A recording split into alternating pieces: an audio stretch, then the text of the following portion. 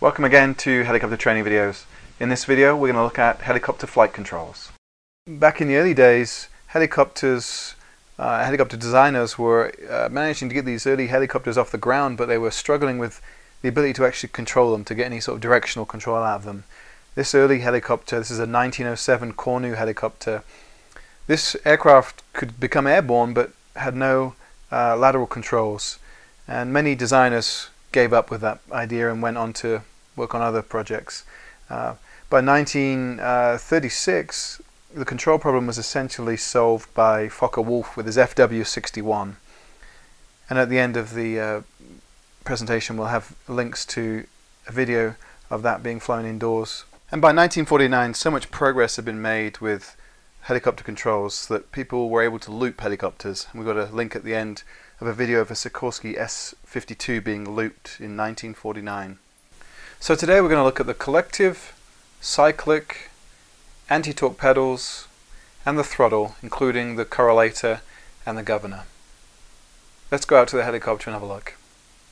Okay, first we're going to look at the cyclic, uh, and there's two, primarily two designs of the cyclic. There's the T-bar, which is what we've got here, which is what Robinson favor, favors, and then the other design, uh, the more traditional design maybe, is the one where you'd have a control stick between your legs, and you'd have one for each pilot.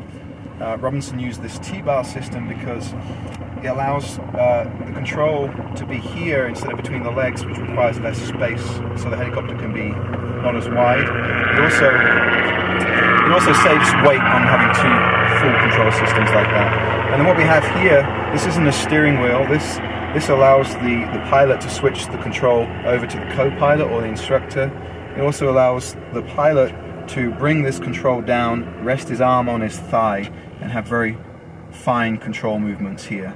So don't be confused, this isn't a steering wheel in any way, this does nothing. This just allows you to get comfortable and hold the position.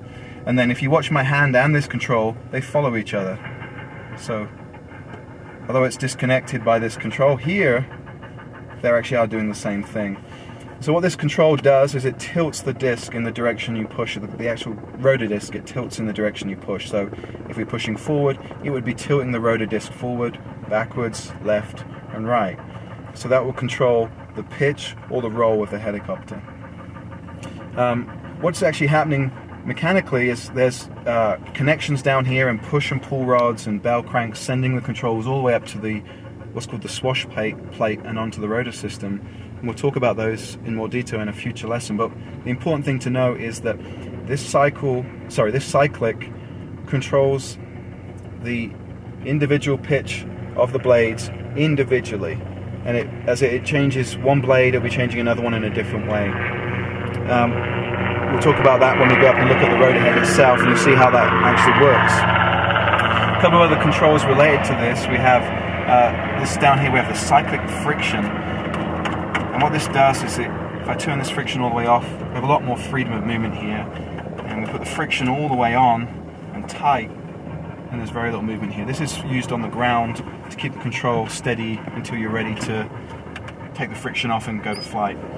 Um, it's not used in flight mode, you turn the friction off before you fly. The other control we have in here is something called the trim, and it's this little thing here we can pull up and when we've pulled this up it puts a bit of pressure to the right on the cyclic and the reason it does that is in high speed flight the right side of the disc starts to flap up and so we have to put in right cyclic to counter that so if you didn't have this trim you'd be flying along say 80 90 knots and you'd have to constantly put pressure into the right and this trim just takes that pressure off just makes it easier and um, less fatiguing on, on the pilot uh, Robinson recommends you always reach around to the left to do this control. Don't reach through here. And the reason is there's also the fuel cutoff control here. And people have inadvertently gone to pull their trim, and instead they've pulled the fuel cutoff, uh, the fuel mixture, to the cutoff position, and they've shut the engine down. So always reach around to the left for your trim control. And you may see this little knob down here.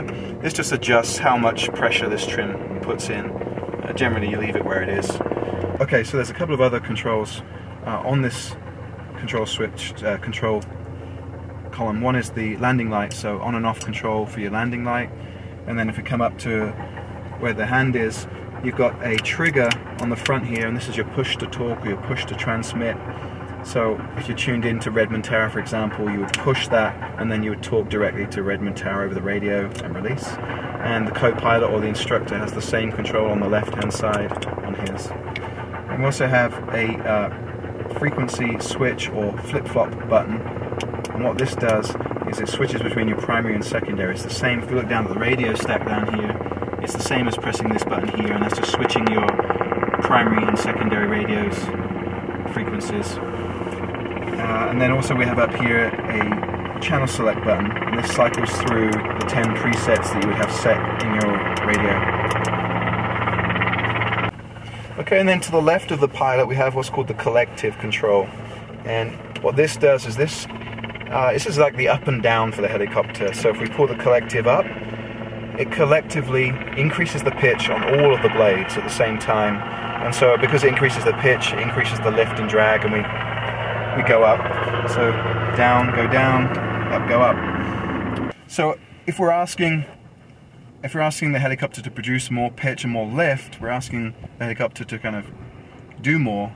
If you think about driving in a car, you're driving along at 50 miles an hour, and as you come up to a hill, if you start going up that hill, if you don't put more throttle in, if you don't ask the engine to produce more, then you'll start slowing down. And it's the same here. So if we ask for more pitch and more lift, and we didn't do anything with the throttle, the rotors would start slowing down.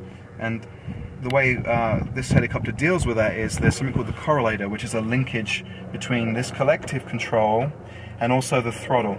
So as we pull more collective, the correlator automatically increases the throttle, so produces more power output with the helicopter to try and deal with the, uh, the extra power demand we've asked for as we pull the collective up. Like the uh, cyclic, there's also a friction control back here. So if we push the friction back here, it's now locked, the collective. And we bring the friction forward, it's now free to move. Uh, in, in some of the helicopters, these collectives kind of droop over time if you don't constantly hold them, and so some people put a little tiny bit of friction on just to hold it there. Robinson actually recommends we don't do that because um, if you think about it, if you have a, an emergency engine failure, you want to lock that down as soon as you can. You don't want any friction, so they recommend you keep that friction off. Down in front of the pilot, we have these pedals here. These are called the anti-torque pedals, and the primary purpose um, of what they control is the tail rotor. The primary purpose of the tail rotor is to counter the torque of the main rotor system. And we'll talk about torque in more detail, but essentially it's about equal and opposite reactions. If you want to spin those blades around above us, the main rotor system, then the torque reaction will want to swing the helicopter in the opposite direction. And the, the way we counter that is we have a tail rotor which is thrusting against the torque reaction. And what these pedals do is they change the amount of thrust that that tail rotor produces. And so if I push left here, what's happening is, and we'll go and look at this in a minute, it's pushing the push rods and connections all the way back down to the tail rotor and it's increasing the pitch. And by increasing the pitch on the tail rotor, it increases the amount of thrust. So this is what we would use to push the nose left and it does that by increasing the thrust on the tail, which pushes the tail to the right and of course pushes the nose to the, to the left.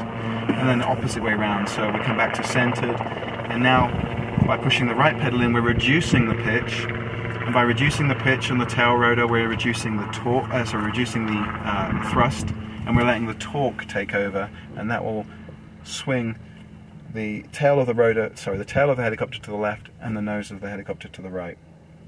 So in in in, in hover in hovering flight, we use these to to make what's called pedal turns or hover turns. So if we're imagine we're hovering right now and we want to push the nose round to the left, we push the nose round by pushing the left pedal in, center, push the right, push the nose to the right.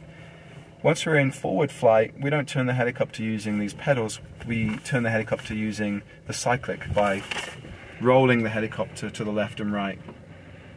But the, these, these pedals are still used in forward flight because as we make changes to the amount of power we're asking, remember if we're pulling the collective up and down, we're changing the amount of power. By changing the amount of power, we're changing the amount of torque, and therefore we need to put in little adjustments to keep the helicopter what's called flying in trim. We want the nose pointing directly where we're flying. For example, if we pulled a load of power and we didn't make any adjustments, it would end up swinging the nose of the helicopter to the right. And so we'd end up flying kind of a 30 degree angle. We'd end up flying kind of feeling like we're falling into the into the flight. And we'll talk about that in aerodynamics in more detail, but these are used to keep the helicopter in trim. So what we have here, this is a, a pretty low-tech solution to that trim problem I was telling you about. It's just two pieces of, uh, string or wool. And the idea is, is when we're in forward flight, these will be pushed up, so they'll sit up here, parallel, either side of here. Um, right now we're just we're on the ground, we're not moving, we're being blown around by the wind. But the idea is they'll sit up nice and straight, and if we're out of trim, they'll tend to swing out to one side or the other. And so we know we're flying out of trim. We've changed our power setting, and we haven't changed our anti-torque rotor, tail rotor setting to kind of compensate for that. And so we'll end up, say, if the trim strings were swinging this way, we would end up pushing in the opposite. We want to put a bit of right pedal in, and that will bring it round to the correct way so we're flying in trim again. This grip on the end of the collective, this is the throttle control and so we can roll it outboard like that or away from us, that's to increase the throttle and we can roll it in or close to ourselves, that is to close the throttle. So outboard for more and close to ourselves to close or reduce the throttle. Um, as we already talked about, there is the, the correlator which is connected to the movement of the collective. That's already increasing and decreasing the throttle. This control here is more for fine control, but um, we have something else called the, the governor, which is an electronic device. It senses the RPMs in the engine and it makes fine, fine adjustments of the throttle for you to make sure that the RPMs stay at the correct level. And uh, we have a little switch on the end here. You just see this little tiny switch here this is to turn the governor on and off. And in normal flight, you always want that governor on. You want the, the governor to do its job to make those fine adjustments for you. And if we look down on the instrument panel here, we have a little warning light to tell us when the governor's off. Um, we should never be flying with that coming on. So what would normally happen is, as we've started the engine, we'd be uh, at a, an idle speed, and when the engine's warm enough, we will roll the throttle on, making sure the governor's on, and at about 80%, uh, engine RPM, the governor takes over, and then you'll feel it roll this throttle up to the correct level, and it will move underneath your hand because you should be able to just let this throttle move under your hand. Um, you can override it if you need to, if there's a malfunction in the in the governor, but um, a death grip on this thing will cause over or under speeds. You've got to let this governor move the throttle for itself.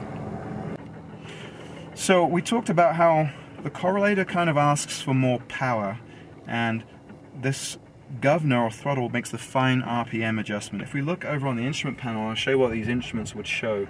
So as we increase the, um, if we pull the collective up, we're asking for the engine to produce more power and that's shown on the manifold pressure. So as we pull more power, the throttle opens and the power level goes up here. And we'll talk more about this in later videos. And then these RPMs should always stay in the green up here, and that's what the governor's doing. So the governor is adjusting this little throttle control on the end to keep those RPMs where they should be. And then when we, in the future, we'll talk about auto rotations and things like that, where we, we manually mess around with the throttle. Okay, so I'm going to show you how, how this collective collectively changes all the blades at the same time to increase the pitch. So I'm going to be moving this up and down, and then I'll show you on the blade what's happening there. We've pushed this blade down close to the ground so you can see it. So I'm pulling the collective all the way up there, and then I'm lowering the collective all the way down. And you can see on the blade closest to you that that's increasing the pitch and decreasing the pitch. And if you can see the blade on the other side, it would be doing the same. You can see it from there. So increasing the pitch, decreasing the pitch. So that's the collective collectively moving all of the blades at the same time. Okay, so I'm going to demonstrate the movement of the cyclic and how that moves what's called the swash plate and then how it moves the blades individually. So if, if you go up and look up at the swash plate, and what I'll be showing you is I'm now going to be moving the, the cyclic forward and backwards. You can see the swash plate is moving the way that I'm moving the controls and also the way that the disc is going to move. And now if I do left and right, now if I do a complete circle, you'll see the entire swash plate move around in a complete circle. And you can see those linkages uh, moving the pitch of the blades. And what we're going to do is we're going to hold a forward uh, control position, and then we're going to move the blade round so you can see how it changes the pitch individually different amounts as it moves the blade around the circle. What we're attempting to show here is how the blades individually change pitch position along the path of the rotor disc plane and each blade is going to be in a different position. Uh, this one, as we follow it around, hopefully we can see this. You can see that right now the leading edge is pointed down. And as we go, it's going to change all along the way. It's at a different angle. By the time we get around the other side, it's actually going to be pointed up rather than down. And the other blade is doing just the opposite.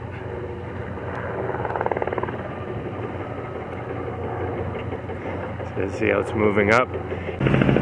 So we are talking about the anti-torque pedals and how they yaw the helicopter by changing thrust produced by this tail rotor.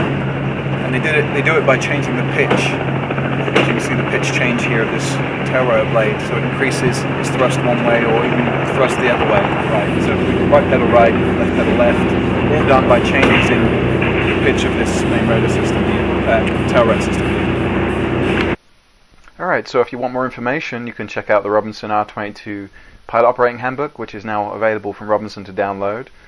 Uh, you also got the Rotorcraft and the new Helicopter Flying Handbook from the FAA that has a flight control section. Again, those are available to download. You also got the ASA Helicopter Oral Exam Guide and the ASA Private Test Prep to check out. There's also a Robinson R22 maintenance manual you can download from Robinson if you check out Chapter 8. And then finally, we had those couple of videos that I was talking about. The first one being the Focke-Wulf uh, FW61 video, which is being flown inside a stadium, and the other one is the uh, Sikorsky S52 loop video, both worth checking out. Just click on those links below. Thanks very much for listening. Uh, any comments, any ideas, suggestions, please send them on, and uh, we'll see you next time.